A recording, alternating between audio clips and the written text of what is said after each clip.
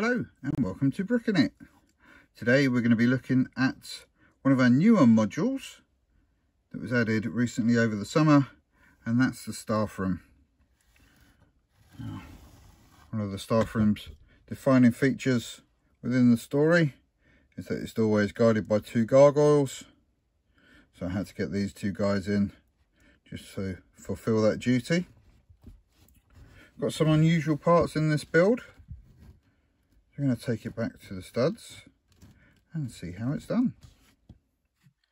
So the first part of our build is nothing particularly special. Just a couple of uh, obviously one stud walls. Use a big plate in here just to save on bricks and also because it's going to be completely covered up. But mainly because that's what I had available at the time. We've got some snot bricks here to hold up our portraits and these all come from the Grand Staircase set, gift with purchase that came out in with the Summer Wave 2022. So just pop these up here. Yeah, there we go. Now this little spear is only here because I needed a plate. Didn't have one so I used a clip plate and I thought I'd just give it a reason for being there. So that's that. You see we've got a couple more studs on the side here and they're going to hold in our bookcase. I'm just going to foot the bookcase here with some tile because we end with uh, books right down at the bottom. And just to obscure the fact that they weren't actually sitting on the shelf, we just put that little fascia plate in. So this is fairly easy construction.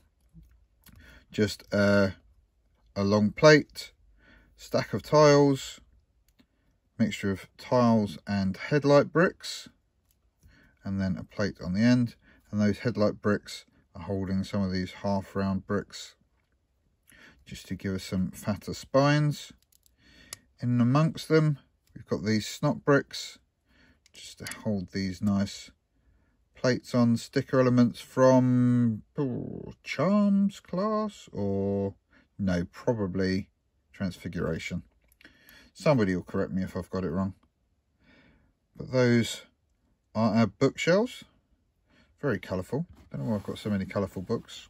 I think most of them came from dumbledore's office actually. That's just going to slide in there and just attach to those two studs and cover over that um, panel. So that end of the build fairly easy, nothing too special. Just going to add in a table, a couple of chairs for our professors to lounge around on. And just in the corner here, I'll have little plant in a vase. do hope that's a yellow vase, not a clear one. Otherwise they are not growing that plant correctly. Just pop that on there, just for a bit more visual interest. Now where it gets interesting is at this end of the uh, build. And I use the word interesting lightly. Very much subjective term these in here. So we're going to start off with a flight of steps. Now the reason I decided to add steps because I wanted to put the gargoyles outside and uh, I wanted to use this piece here which is the kind of piece you only acquire when you're on Bricklink late at night. Obviously they show you the front, I thought, oh that's nice, a lot of texture on there. Not having ever seen behind before. So we've got these little uh, protrusions here. And I imagine those are for clipping on gates. They've got that kind of look. And so you'd be able to clip on a gate or maybe a pair of thin gates to cover over this entrance way. But I just thought it was really nice. I like the texture. I thought it would uh, look quite good in one of these modules. So I ordered it and then I saw the back and I thought what am I going to do with this but I solved it in the end so let's just build in this around and the platforms for our gargoyles. He's going to go here, just put this little decorative toe piece with a candle on it on a cone just there again for a little bit more interest.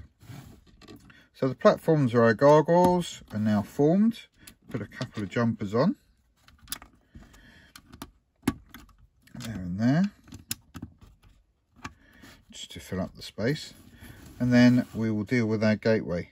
So this is nice, eight wide, fills up the depth of the um, depth of the module nicely. But we're going to add in another brick there, just because we need to be able to obscure these protrusions on the back. And that's not easy unless you have one of these. So obviously these arches are a lot taller. But if you line up the tops of the arches, as if by magic, with barely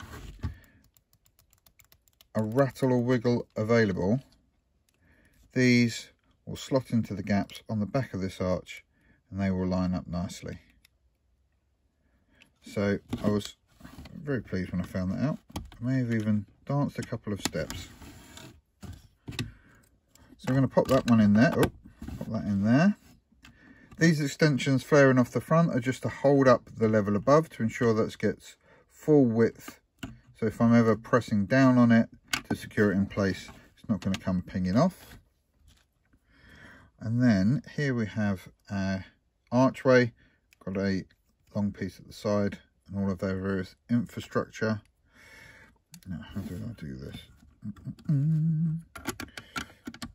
This is going to slide in. No, it's not. Not with that photograph there, it's not. Slide into here like that. Oh, that brick. Oh, let's stay that brick.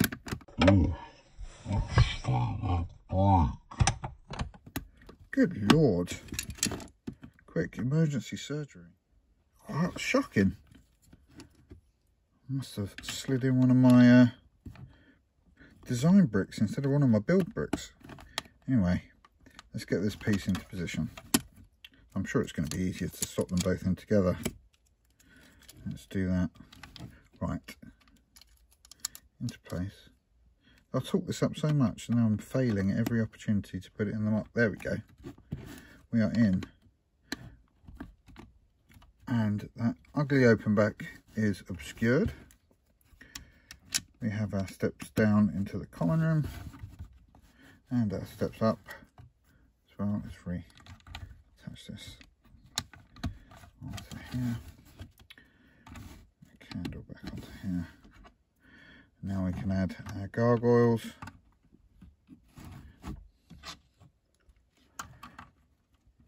Keeping the staff room safe from prying students.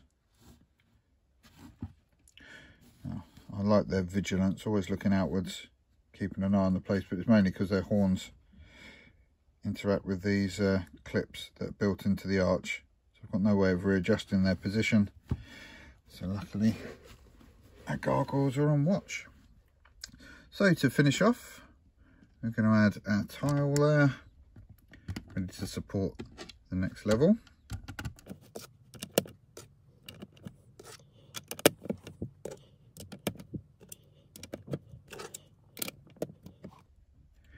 And just before we add the front lintel on, staff room would be nothing without a couple of teachers relaxing. We have Professor Slughorn, He's clearly not got a lot on this afternoon, and our Professor Grubbly Plank MOC, who's either having a cup of tea or making sure that's what everyone thinks she's doing. There we go, let's add our lintel back.